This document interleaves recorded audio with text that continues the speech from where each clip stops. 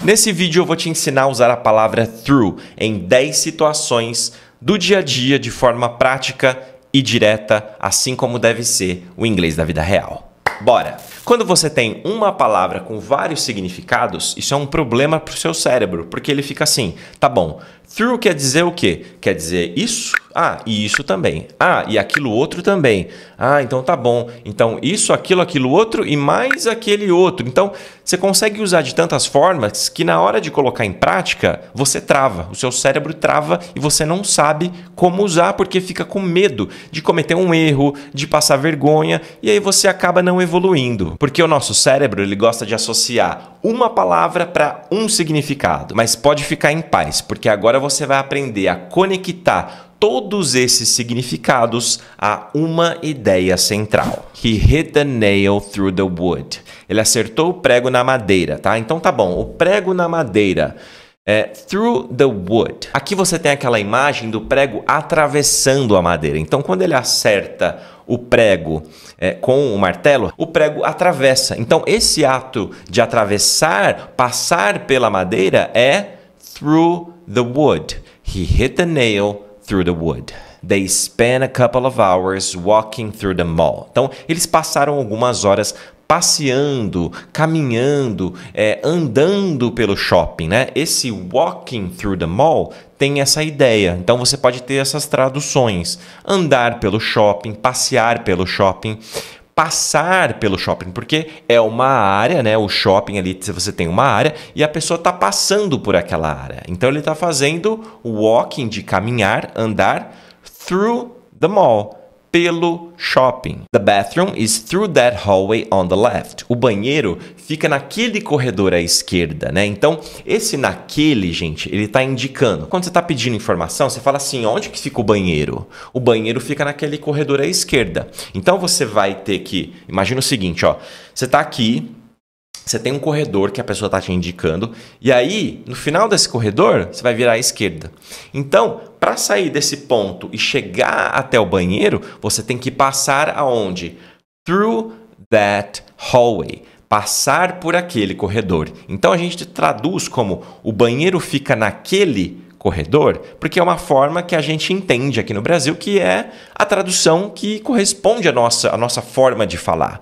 Mas o through está sendo usado para isso. Ele está falando, ó, você vai sair daqui e the bathroom is through that hallway on the left.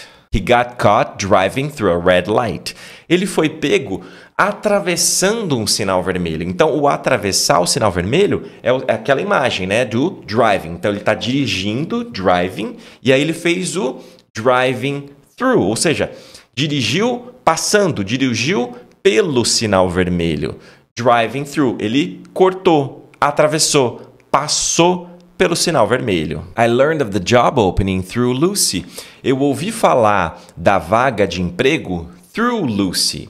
Então, pela Lucy, por meio da Lucy, através da Lucy. Então você tem a vaga de emprego, você tem eu aqui, eu tô aqui. A informação que chegou até mim passou pela Lucy. Então, I learned of the job opening through Lucy. We will succeed only through hard work. Nós vamos ter sucesso, nós só teremos sucesso com muito trabalho. Então aqui você fala, nossa, com muito trabalho. Então o through é o com. Sim, é o com. Mas o que, que ele está falando? A gente só vai ter sucesso. Então, we will succeed only through. Então, apenas através do trabalho duro, através de muito trabalho. É aquela mesma ideia. Pensa comigo. Você quer ter sucesso. Imagina que o sucesso está aqui. Como que eu chego até ele? Eu tenho que passar por o quê? Pelo que, que eu tenho que passar? Through hard work. Pelo trabalho duro. Então só acontece através do trabalho duro. Through hard work. The students had time to go through their notes. Os alunos tiveram tempo de go through their notes, de passar pelas suas anotações. Se você passa pelas suas anotações, go through, você está fazendo o quê? Você está revisando. Então, os alunos tiveram tempo de revisar as suas anotações. Nesse caso, ele entra aqui como uma revisão, porque você está fazendo o quê? Você está fazendo o go through their notes. Você está revisando, você está passando pelas suas anotações. He slept through the movie. Ele dormiu through the movie. Aqui você imagina o seguinte, ó, porque a tradução é mais ou menos assim, ó, ele dormiu durante o filme. E qual que é a ideia? Você está passando o filme lá, então tem a linha do tempo e ele dormiu, he slept through the movie, durante o filme, conforme passava o filme, conforme ele passava pelo filme, porque você está passando pelo filme de uma certa forma, certo? O filme vai passando, tem uma linha do tempo, ele vai acabar uma hora. Então, quando você fala que você fez algo through the movie, no caso dormiu, ele dormiu durante o filme. He slept through the movie. Também dá para usar para referências de tempo maior, como uma estação do ano, por exemplo. Many students work through the summer. Muitos é, alunos, estudantes, trabalham o quê? Through the summer, durante o verão. Many students work through the summer. The stores open Monday through Friday. Então aqui a loja ela está aberta Monday de segunda through, passando por todos os dias, segunda, terça, quarta, quinta, Friday, through Friday. Então, de segunda a sexta, Monday through Friday. We're through the worst part of the project. Nós já superamos a pior parte do projeto.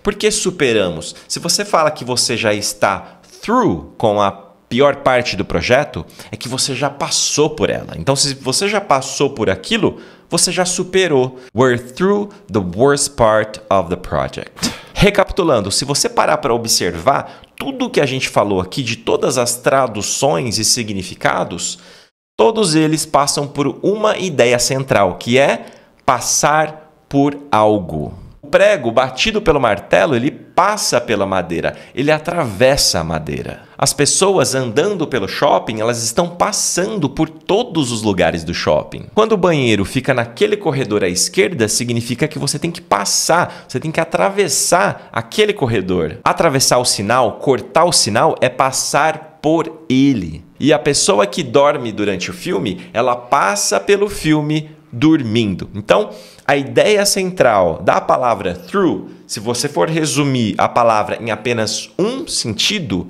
tudo se resume a passar por algo, atravessar algo, seja literalmente, seja figurativamente, certo? E se você aprendeu alguma coisa com esse conteúdo, deixa o seu like aqui embaixo, se inscreva no canal se você ainda não é inscrito para não perder os próximos vídeos, certo? Te vejo no próximo, um abraço.